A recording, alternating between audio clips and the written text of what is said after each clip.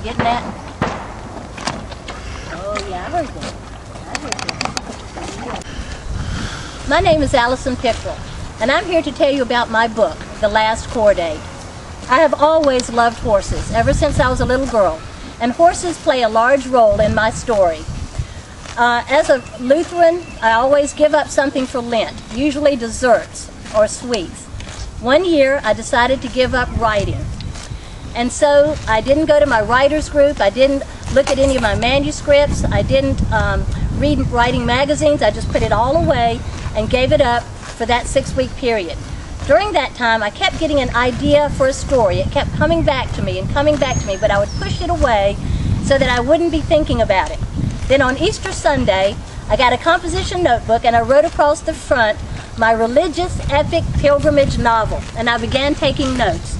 This was going to be the story of a, of a um, young girl.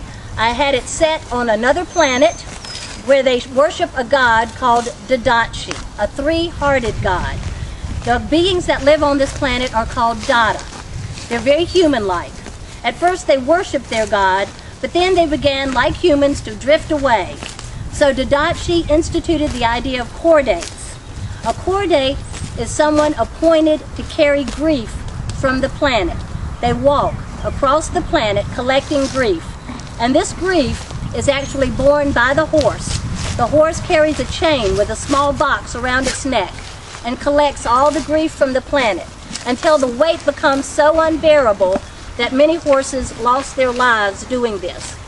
So Dadachi decided that once and for all he would send the middle heart, Dot, to become a human on the planet. And Dot would carry grief once and for all forever from the planet.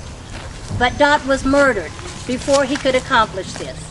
Ever since his death, none of the cordates have been able to reach the end of their journey.